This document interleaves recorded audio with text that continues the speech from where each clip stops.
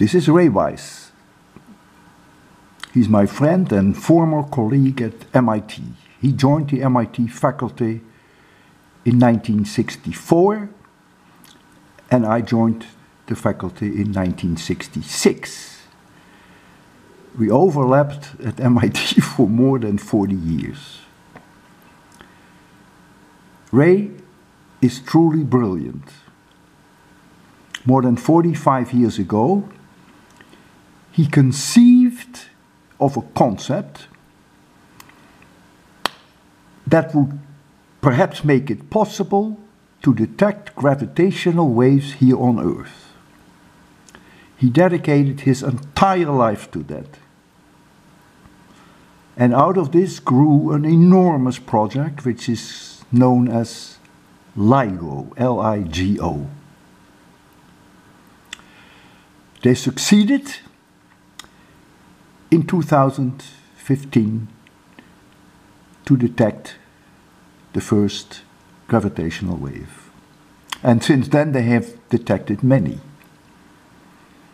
For this, Rai, jointly with Kip Thorne of Caltech, received the Nobel Prize for Physics in 2017. That was an absolute guaranteed, of course. We all knew he was going to get it. Rai has received countless awards. I will not even mention them. I suggest you Google him. Rai Weiss. Last night, October 26, 2018, my wife and I went to his talk, very prestigious keynote speaker at UConn, University of Connecticut. It was packed, the audience. It was wonderful to see him again. My wife took some pictures, of course, of Rai and me. I taped, recorded a few parts. I was planning to tape the whole thing, but my wife said, you know, that we were sitting in the front row, that it might be distracting him. And so I only took a few shots throughout, a total of eight minutes. Ten short portions, short parts, a total of eight minutes. So, in a way, you can get the flavor of this incredible discovery. But it's not a very coherent talk because you only see 10 slices, which I have taken at random.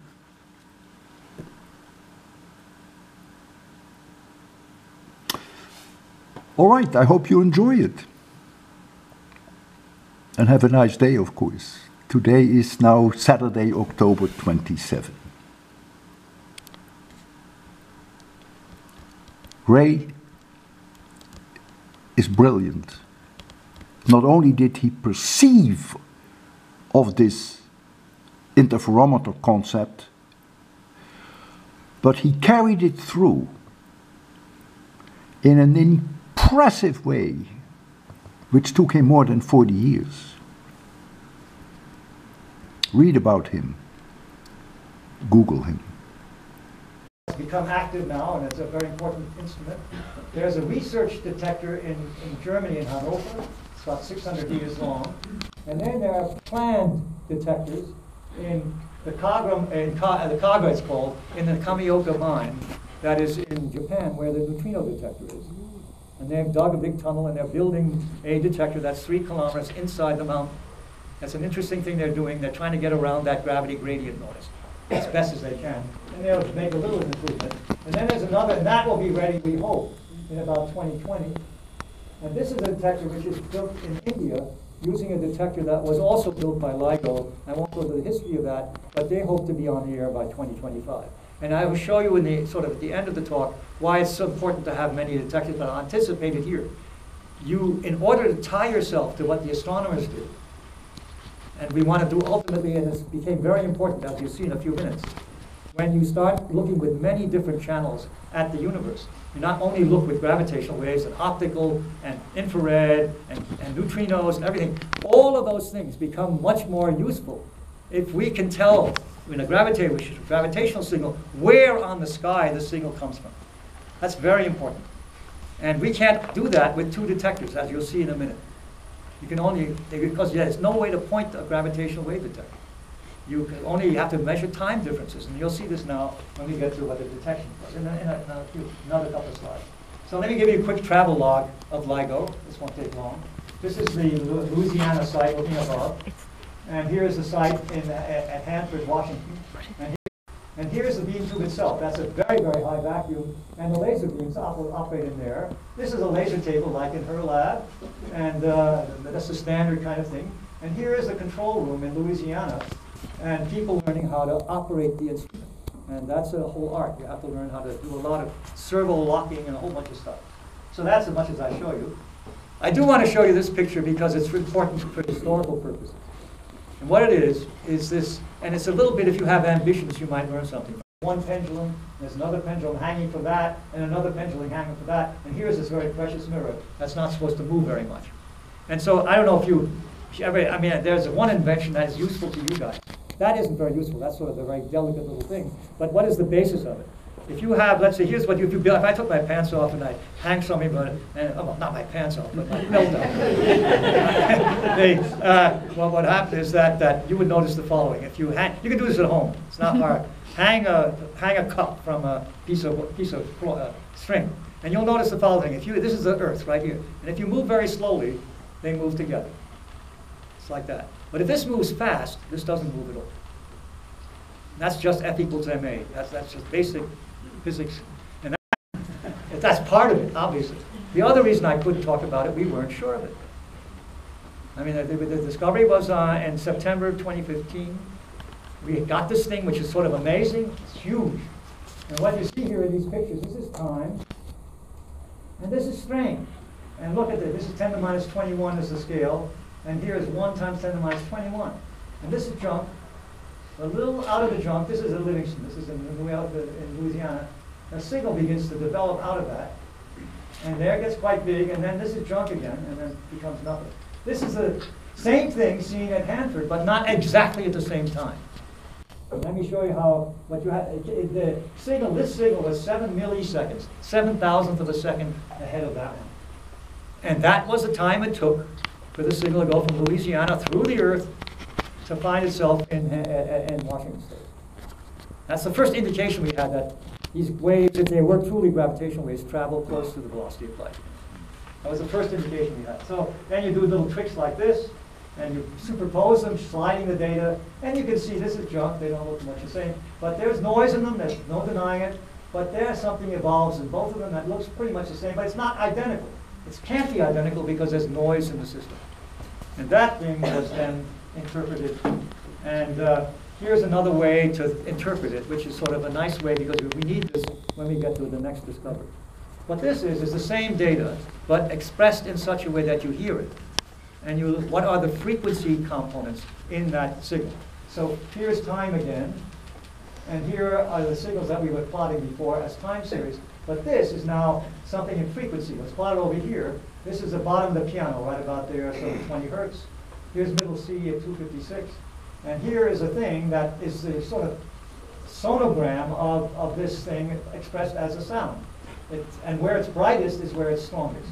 And that's a, these are the same pictures that both at Hanford and in Livingston, as at Washington State and, and and very shortly after that, and this indication, this is uh, 9th of September 14th, 2015. Here's one that was measured October 12th, 2015. And here's one that was, this is the one that really I, I finally made me believe.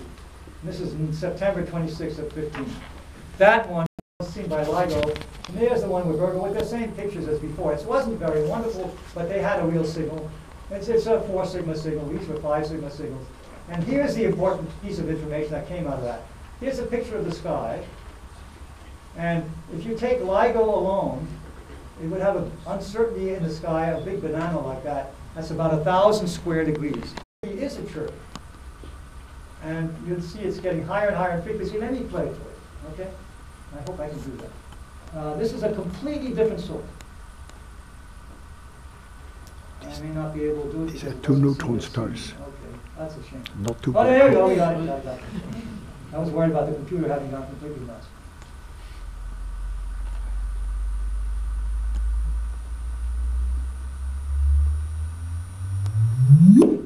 Okay, That's a real chirp. And that now is a lot lighter. These are 1.4 solar mass, we think, the 70s. And here was real proof for it for the first time. The other thing that people had guessed at is that where the heavy elements are made, the very heavy elements, they're not made in stars, they're not made in the Big Bang. The Big Bang is the initial moment of the creation of the universe. And, uh, but uh, you can get hydrogen and helium out of that, but you don't get much else out of it. And you see this color coding. Oh, here's peri- periodic table for those of you who recognize it. And this color coding tells you the source at which these things were made. And most of us thought that we knew that it wasn't made in the Big Bang, possibly made in exploding stars or a supernova, and different classes of stars, but green and yellow are sort of most of the average things. But all the things that are blue and purple in here were not, they were not able to get high enough, long enough to